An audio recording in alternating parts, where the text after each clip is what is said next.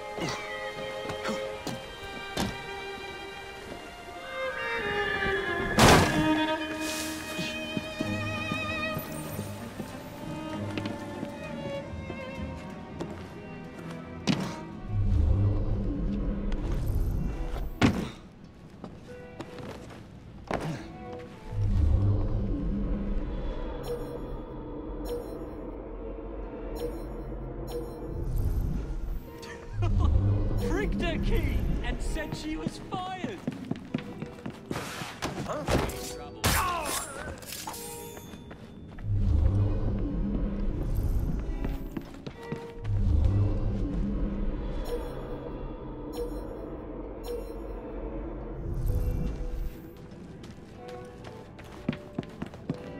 Where would I find the doctor?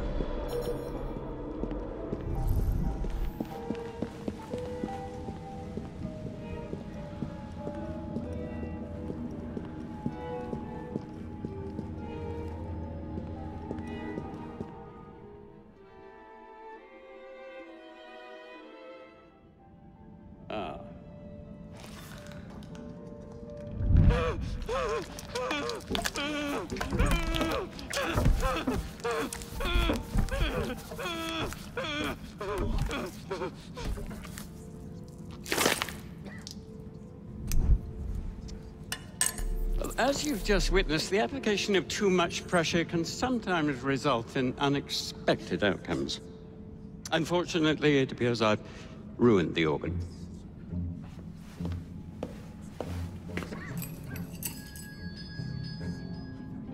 Send up a cadaver.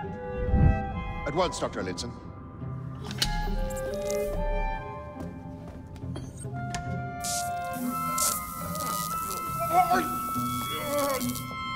I don't care about your ethics.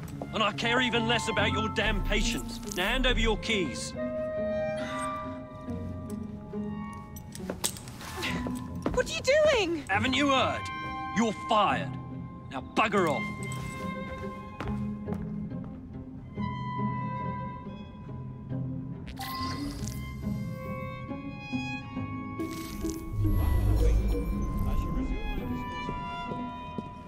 How to do it.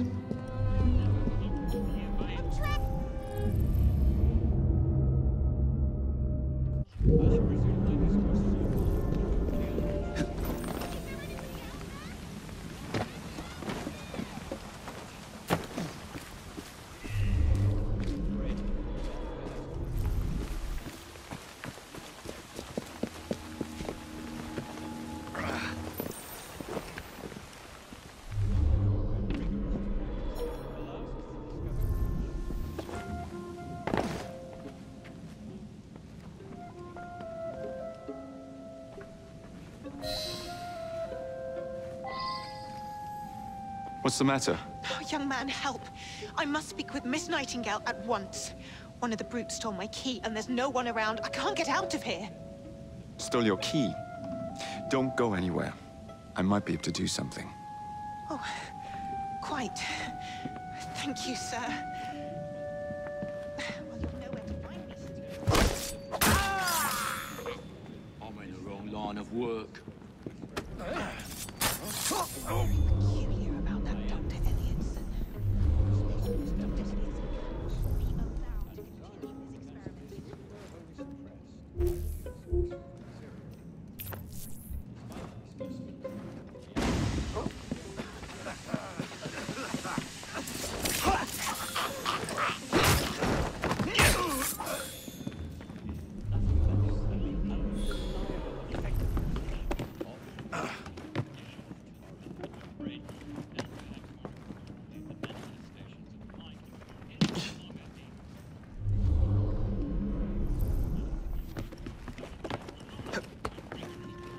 Making progress.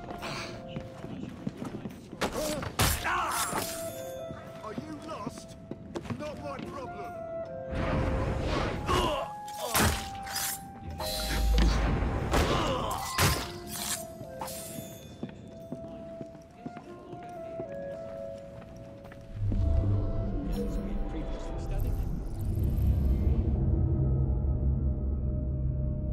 when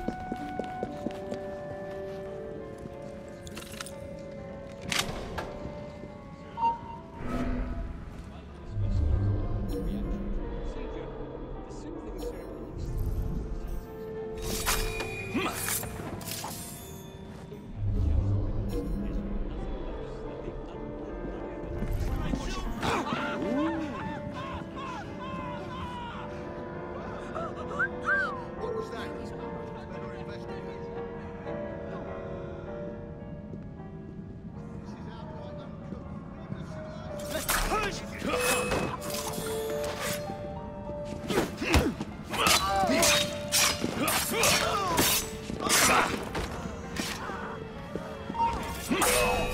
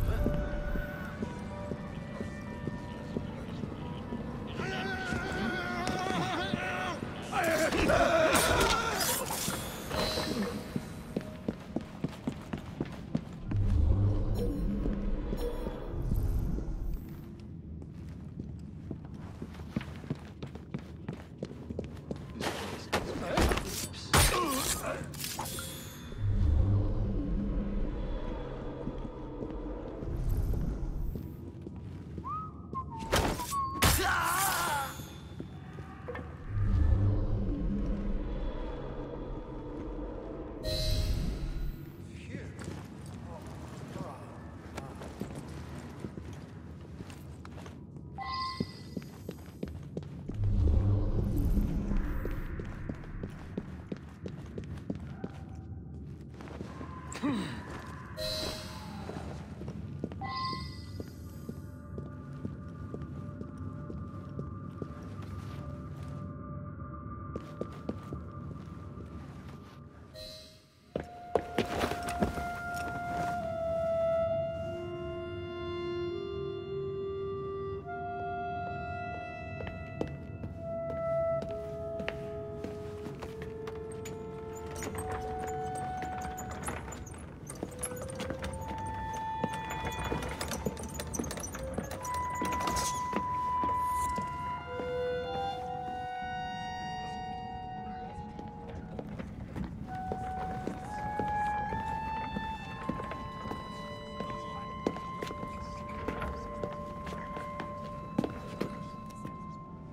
Here it is, Doctor.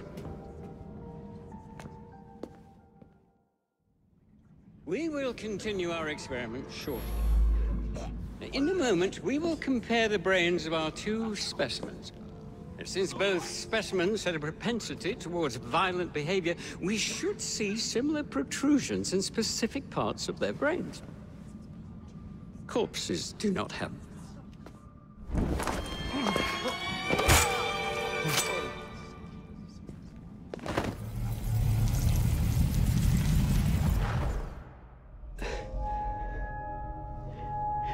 At last it ends.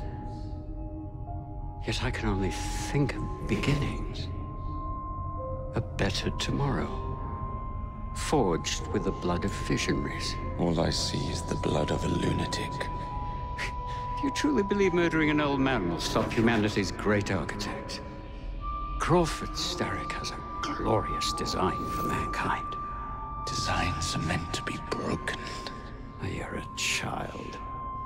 A child who believes he can solve all the world's woes with a flick of a blade. Have you ever pondered the consequences of your actions, Jacob Frye? Or did your father teach you nothing?